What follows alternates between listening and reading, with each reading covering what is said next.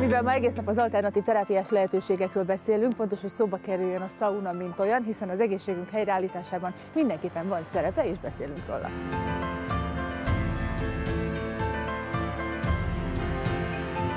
Elsősorban azért lehet egészséges a szauna, vagy legalábbis a köztudatban ezért, hogy akkor sokkal több folyadékot vesztünk, emiatt többet viszünk be, tehát segítjük a szervezet tisztító folyamatait. A szaunán sokkal többre is képes. Egy profi szaunamester az használ aromaterápiás eszközöket, ahol a különböző gyógynövényeknek a hatásait használjuk, illetve a szív- és érrendszernek az edzése, a keringési rendszernek az edzése nagyon fontos. A szakma egyre bonyolultabb, egyre több természetes anyagot használunk, egyre több módon tudjuk a vendégegészséget stimulálni, és ez alkalmazkodik az évszakokhoz is, tehát más programokat csinálunk télen, és más programokat csinálunk nyáron.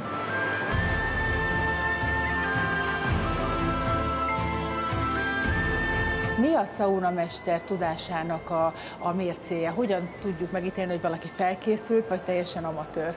Laikusként az a legegyszerűbb, hogy hogy érezzük magunkat. Egyébként a szarnamesternek rengetegféle képzés van, vannak szarnamester versenyek. Most indul a versenyszezon egyébként, februárban már lesz itt Magyarországon egy elég komoly verseny, ami kifejezetten a legyezés technikai tréningre megy rá, és aztán március végén indul a világbajnoksági szezon, és ennek nemzeti fordulói vannak minden országban, Magyarországon is lesz majd nyáron nemzeti forduló, ami a jó hír, hogy ezekre a vendégeknek is el lehet jönni. A szaunaester világbajnokságon alapvetően showprogramok vannak, mert a szaunaester szakmának az a legnehezebb része. A légtechnika, lejezés technika, a hőemelés, ezen kívül zenével, fényekkel, hangulatokkal dolgozunk, és erre jön még a showprogramoknál az rá, hogy neki 15 perc alatt mindenki színházba egy produkciót pluszba elő kell adni, miközben ezek a dolgok nem sérülnek. És a legnehezebb a világbajnokságban ezek az arányokat megtalálni, tehát úgy szórakoztatni felhőtlenül a közönséget, hogy közben a sauna jótékony hatásainak tökéletesen működnie kell. Igazából a világbajnokság a szakmai fejlődésnek egy motorja. A zsűrinek ugyanott kerülni, végig bent kerülni, és mindent tudni kell, amit zajlik.